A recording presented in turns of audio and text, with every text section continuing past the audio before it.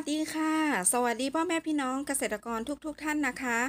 นายกษาบเงินลวงรองผู้จัดการธนาคารเพื่อการเกษตรและสหกรณ์การเกษตร เปิดเผยว่า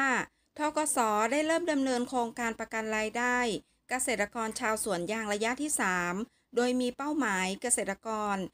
1.88 ล้านรายนะคะ พื้นที่สวนยางกว่า 19.16 ล้านไร่ค่ะ วงเงินงบประมาณอยู่ที่ 9,783.61 ล้านบาทค่ะ ทั้งนี้โครงการประกันรายได้เกษตรกรชาวสวนยาง ได้กำหนดระยะเวลาประกันรายได้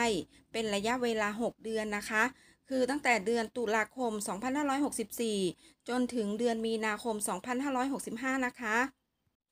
ซึ่งงวดเดือนตุลาคมถึงพฤศจิกายน 2564 ได้โอนเงินไปแล้วกว่า 739 ล้านบาทค่ะ ให้แก่เกษตรกรจำนวน 381,480 รายค่ะ ทั้งนี้นะคะการประกันรายได้ตามการผลิตแต่ละประเภทได้แก่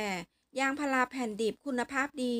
ประกันราคาอยู่ที่ 60 บาทต่อกิโลกรัมค่ะ น้ำยางสด DRC 100%ประกันราคา 57 บาทต่อกิโลกรัมนะคะ และยางก้อนถ้วย DRC 50%ประกันราคาอยู่ที่ 23 บาทต่อกิโลกรัมค่ะสำหรับหลักเกณฑ์การจ่ายเงินประกันรายได้นะคะ เกษตรกรชาวสวนยางต้องขึ้นทะเบียน และแจ้งข้อมูลพื้นที่การปลูกยางกับการยางแห่งประเทศไทย โดยเป็นสวนยางพาราอายุ 7 ปีขึ้นไปนะคะ ที่เปิดกรีดแล้วรายละไม่เกิน 25 ไร่กำหนดปริมาณผลผลิตยางที่จะประกันรายได้ ผลผลิตยางแห้ง DRC 100%จำนวน 20 กิโลกรัมต่อไร่ต่อเดือนนะคะ และผลผลิตยางก้อนถ้วย DRC 50%นะคะจำนวน 40 กิโลกรัมต่อไร่ต่อเดือนค่ะ ทั้งนี้นะคะ การยางแห่งประเทศไทยจะทำการตรวจสอบ และรับรองสิทธิ์ พร้อมทั้งประมวลผล ส่งมายังทกส เพื่อให้โอนเงินเข้าบัญชีเกษตรกรโดยตรง ซึ่งเงินค่าประกันรายได้ในแต่ละเดือน เท่ากับราคายางที่ประกันรายได้ ลบราคาอ้างอิงการขาย คูณกับปริมาณผลผลิตยางตามเนื้อที่กรีดยางนะคะ โดยแบ่งสัดส่วนรายได้ หากเจ้าของสวนกรีดเองจะได้รับส่วนต่างประกันรายได้ทั้งจำนวนนะคะ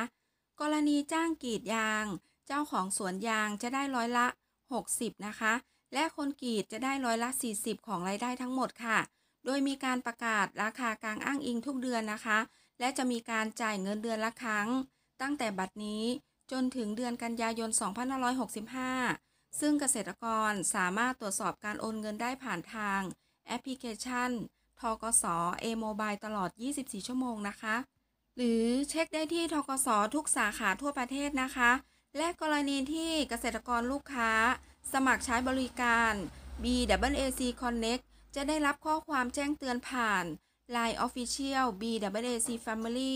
เมื่อเงินโอนเข้าบัญชีของท่านแล้วนะคะ